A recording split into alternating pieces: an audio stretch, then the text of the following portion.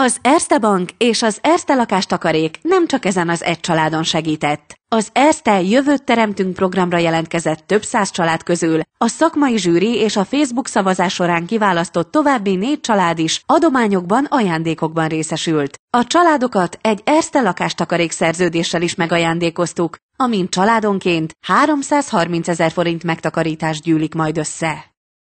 Erste lakástakarék. Számít kit választ.